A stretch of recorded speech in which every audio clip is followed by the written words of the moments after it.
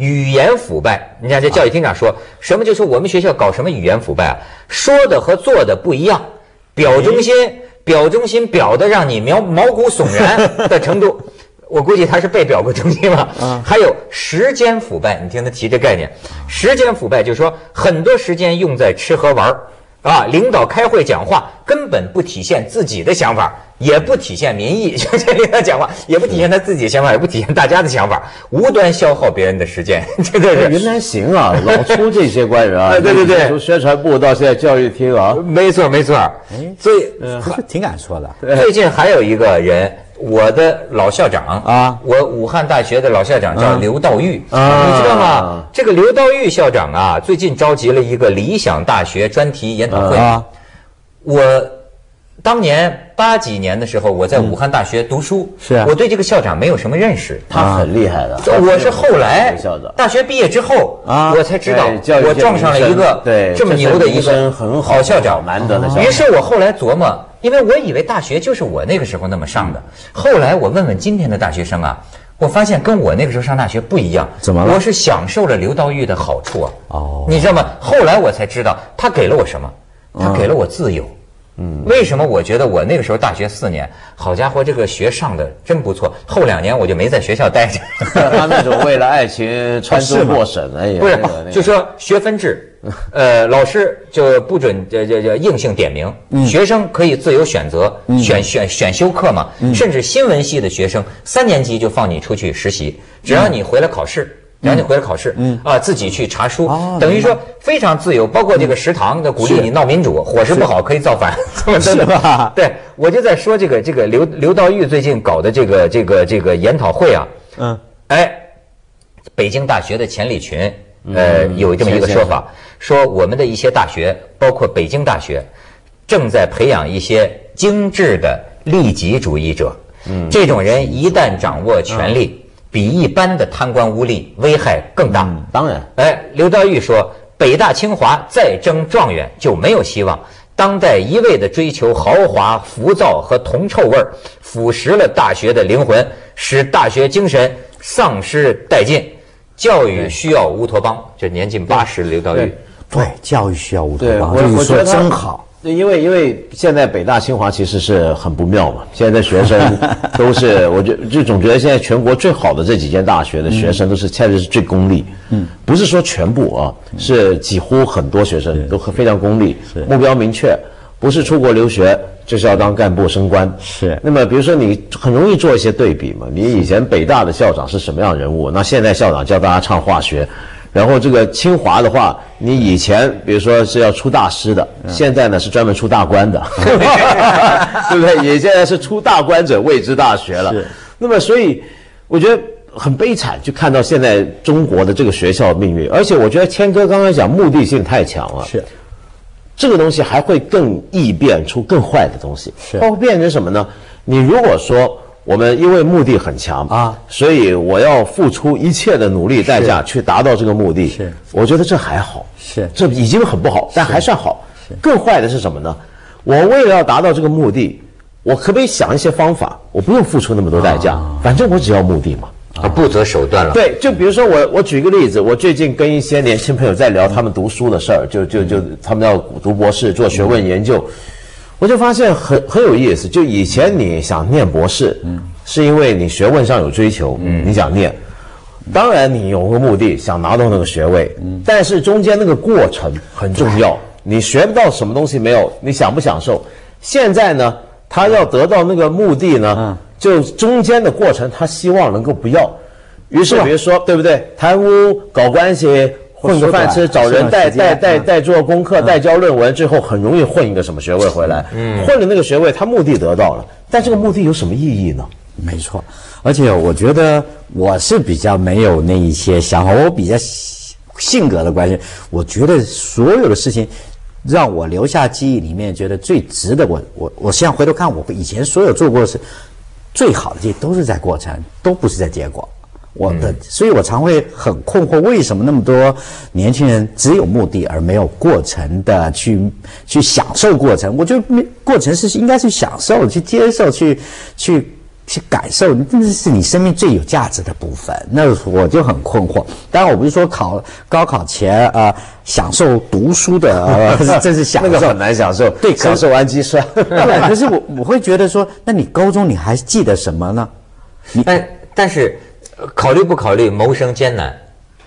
我觉得啊，嗯，我就就像您说说说，现在就是因为谋生的啊、大家把谋生艰难这个事情放得太太前面了，所以大家都用一个最最功利或者最为强悍的方法去抢夺生存之道的时候，变成我们面对于谋生这件事情，把看得非常的恶劣，而且失去了用我们，我觉得就像啊、有些早期的人，我不是说要回到早期，说啊、现在有一群新的教育孩子其实。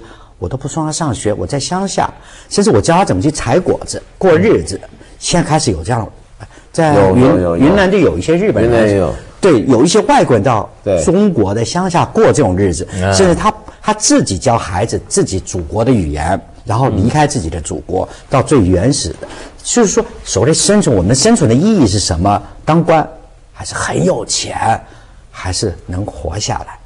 那活得快乐与不快乐，那我的我的过程享受是活得快乐与不快乐，这是最重要的这件事情啊。嗯，所以我在想，啊、也许我们必须可以体会这些当师长的、当父母的，他们内心里面曾经受到过的一些迫害，而必须还给他孩子更好的，用最快速方法教孩子得到他们以前失去的。但是有的时候你也剥夺了孩子应该得到的快乐。我觉得我看那张照片是这么想的。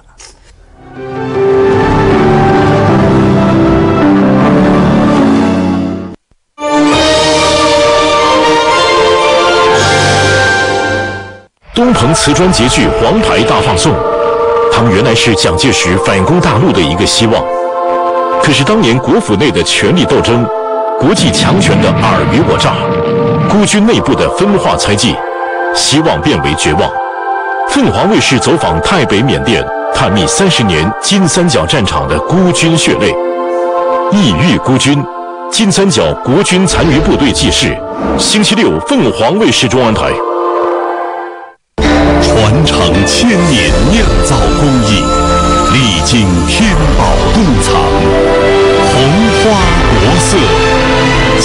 酱香典范，红花郎。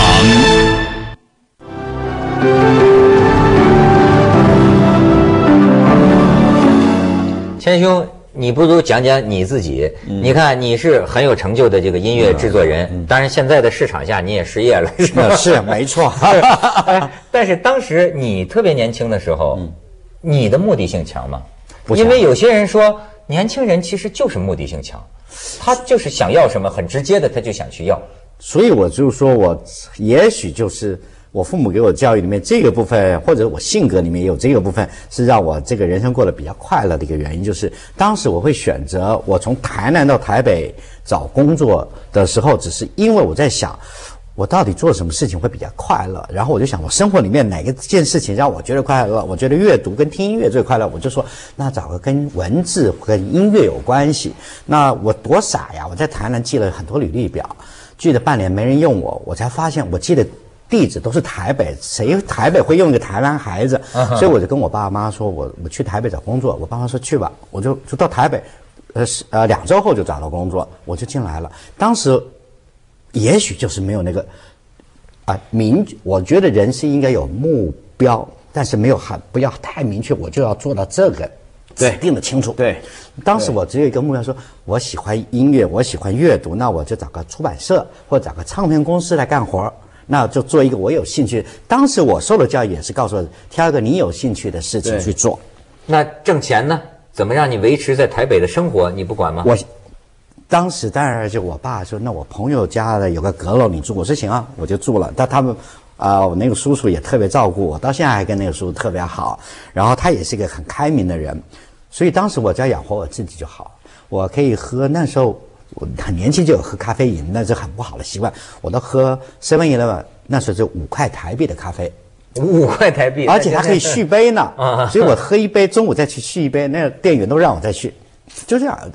可是那时候真的很快乐，我到现在还是怀念那段日子，特别快乐。但是他们所以说啊，这个物质主义和消费主义啊，也是因为水涨船高。没错有些人讲，就说是谁搞的？不不是孩子们搞的哈，就说现在在一个城市里生活成本，确实是没法弄。嗯，而且你就像咱们都觉得挣多少钱都不够啊。对你何况你像他们呢？那样的经济上的不安全感，对，但是我觉得对，没错，挣多少钱都不会够。但是你如果老想着这个事儿啊，你那个不够的感觉会被放大，啊，那这时候你会很难过。就我觉得我我跟谦哥很像，我年轻的时候大家运气也是好，家里面没有让我有太大的负担的时候，那那个时候也是从来，其实我发现不止我，我身边很多同学，我们那边要念哲学的人啊，首先要了解念哲学的人在大学是什么地位，就是你们是帮完蛋的人嘛，对不对？是是是那由于你天然就不会有什么出路，你也不必有什么目的性了，你知道吗？所以我们也就干脆不担忧什么了。绝望之绝望，绝望 之余，于是反而变得很快乐。是我们没有人担心自己将来要挣多少钱，要怎么样，反正觉得勉强活得下来，没饿死，有地方栖身，租的或者跟人家合租房子，我们都喜欢合租房子的时候，我跟三个同学合租过房子，是是就够了，然后就很快乐。嗯，那时候真的是很快乐。你说我们有什么大的志向吗？没有。那那那那那个日子，你说是不是很很无聊呢？他也不是啊，很满足啊。现在是出来一些啊，就他们要讲的说，大学培养出来叫精致的利己主义者，接着下来为您播出《西安楼冠文明启示录》。那这见人就会来事儿，见人说人话，见鬼说鬼话对，八面玲珑。你想他脑子里的价。